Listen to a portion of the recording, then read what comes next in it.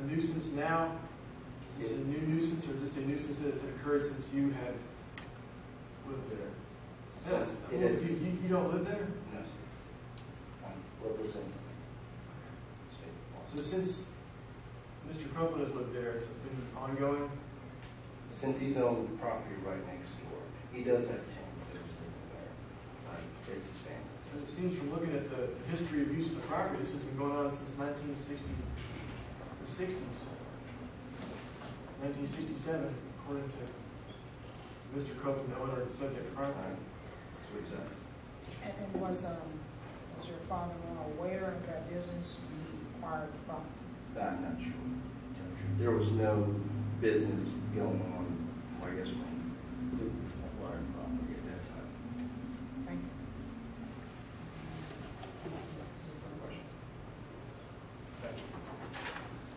Anybody else here in opposition? Oh, your hand first. Sorry. Hey, you're not? Hires. I live at uh, thirty-four eighty Brown Road. and, Where is um, that in reference to this property?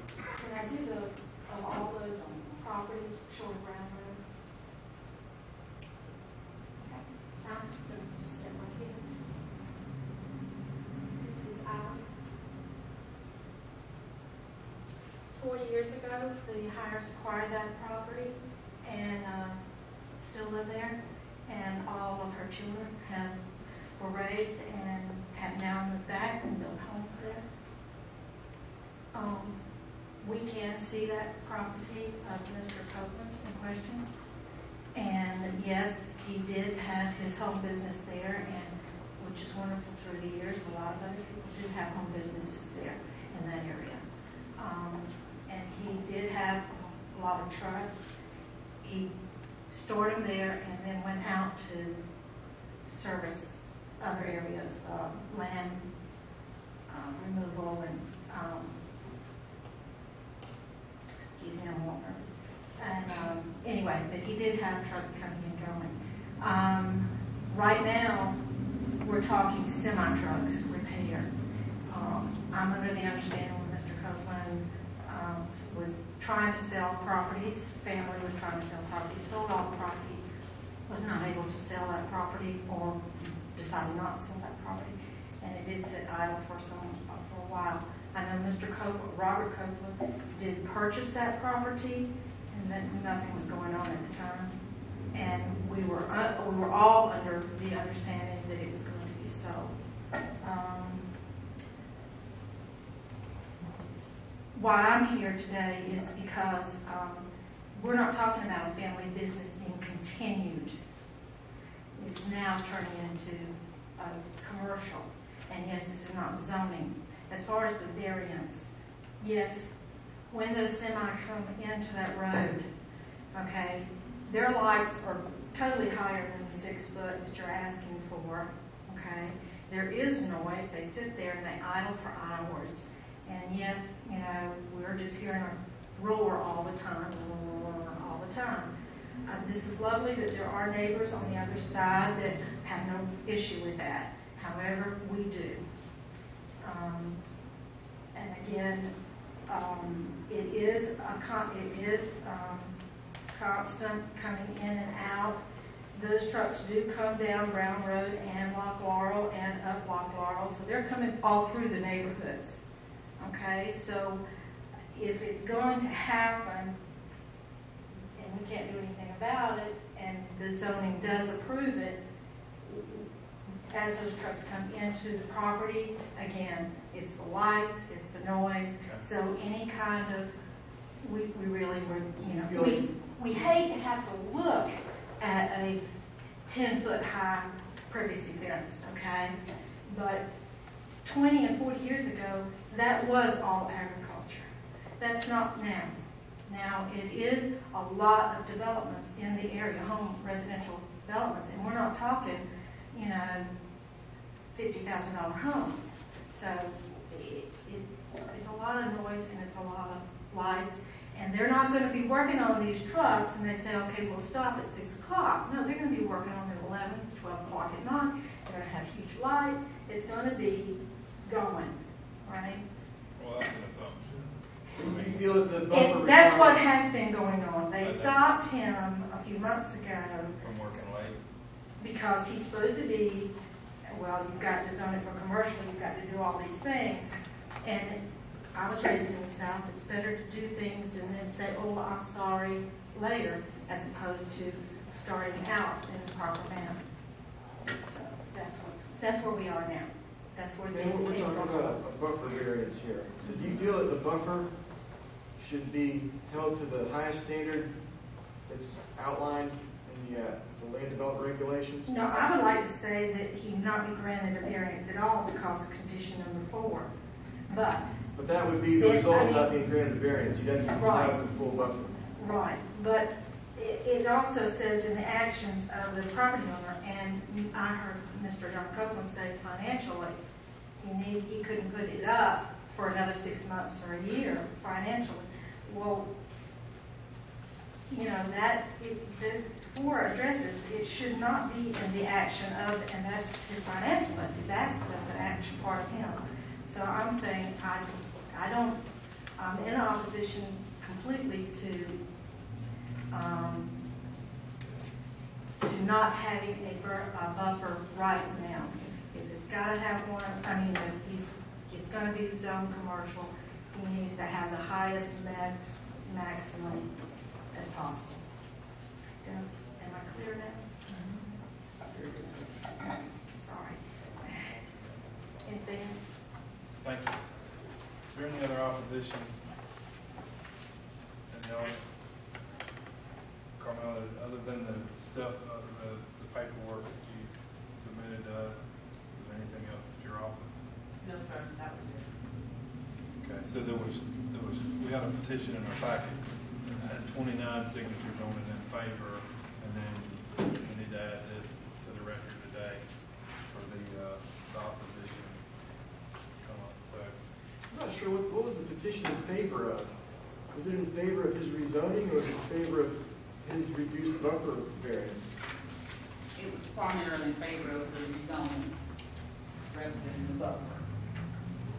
good point. Good point. Because we're, we're talking about a buffer variance.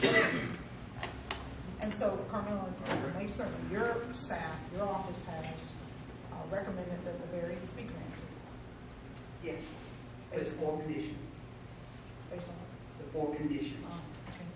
Thank you. But we're not sure if it's gonna be rezoned at this point. Right, and, and number four is contingent upon the success of his, his rezoning next week. What's the thought, Ms. Braswell, on, on not having the, on waiving the requirements on the south, north, southwest, and east of the property? Um, because they're the natural vegetative buffer already in place. So the committee felt just, you know, undisturbed. Leave it as it is. Don't cut it down, just leave it as it is. Okay, and, and while I understand what we're here for, and I understand our role, the essence of the complaints, um, is the zoning of the commercial, commercial property. That's what I'm. Thank you.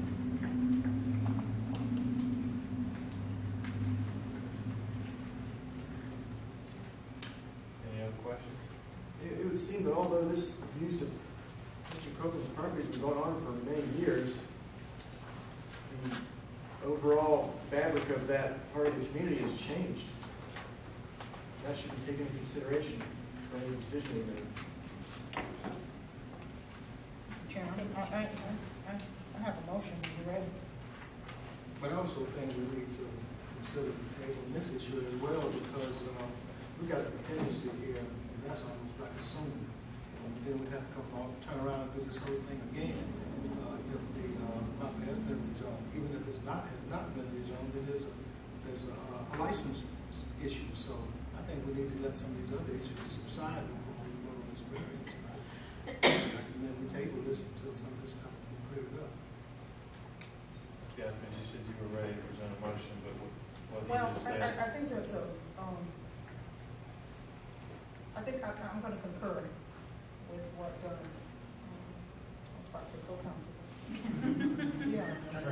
Yeah, Dr. House said, because I think, I think our, any motion is, is premature.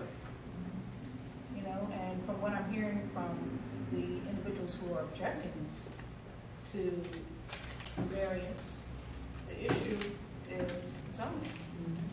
So is the applicant operating um, at a deficit if we wait and table this until such time as at least we have the information about whether or not zoning's been approved? From my understanding, he's act, actively seeking a, a leasing for the property. Um, if I'm, I stand to be corrected, there is no one that's leasing the property now, but he is, in- he's advertising for someone to, to come and lease the property. we're, but the zoning uh, meeting takes place, what, four weeks from now? No, next, next, next Tuesday. Next Tuesday. I, I think we ought to table this. Okay, is, is that a motion? Oh, yeah, okay. It's a motion to table this matter until the next uh, scheduled um, meeting. Carmella, do you see any for a call for vote? Okay, all right. And I would, um, uh, may, Mr. Chairman, that being July, um, we may move that to the. July 10th. July tenth, instead of the first, the first Tuesday in July. And that'll give you, you have to re-advertise it? Right. Okay. All right, well, maybe, I have a motion and I have a second to table this until our next regularly scheduled meeting. So show of hands, all in favor? No opposition, unanimous. Uh, Not exactly the outcome, I think, that we were anticipating, but nonetheless, I think it's the right thing to do too. Thank you. Appreciate you. Sorry, it's been a little long. You? Yeah.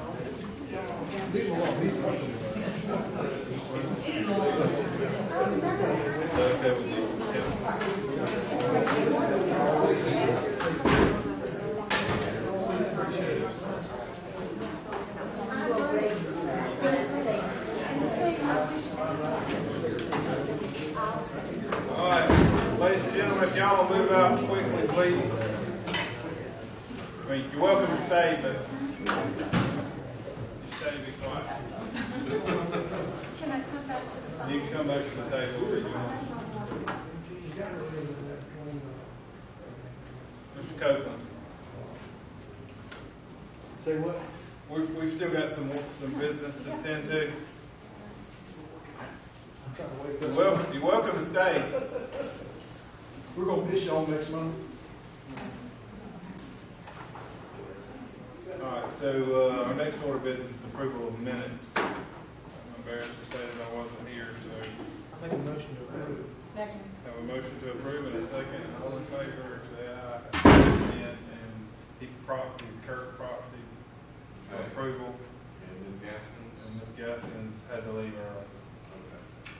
That's your personal. Okay. Looks like it's close enough here. So we have approval of minutes. Um, do we have anything else from staff?